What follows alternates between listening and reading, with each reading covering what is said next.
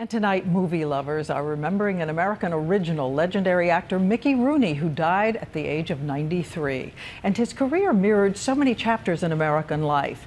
Rooney, the actor, brought infectious joy that lifted up a nation, even when his own life was stormier than we knew. Here's ABC's David Wright. He was the original child star with all the turmoil and trouble that comes with that.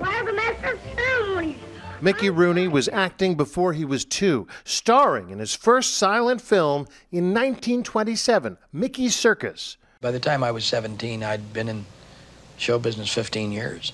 A contract player for MGM back in the heyday of the Hollywood studios, he sold more tickets than Clark Gable, Tyrone Power, Bette Davis, or Bob Hope. Well, any time's all right for me, you know As the baby-faced bully redeemed by Spencer Tracy in Boys Town, or the hard-luck teenager of the Andy Hardy movies. Andy, you're beautiful. All 15 of them.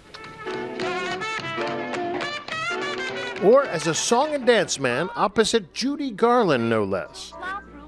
He made $12 million before he was 40, but lost it through gambling, addiction, and serial divorce. Married eight times, once to a woman he had known barely a week. At the 1982 Academy Awards, he held himself up as a cautionary tale to his fellow actors. When I was 19 years old, I was the number one star of the world for two years.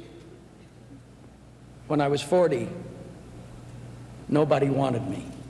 Rooney kept acting well into his 90s. Looking this way. One of his last great roles, The Black Stallion, as an old man chasing the dreams of his youth, a role that might best epitomize his epitaph. I tried. Mickey Rooney was 93.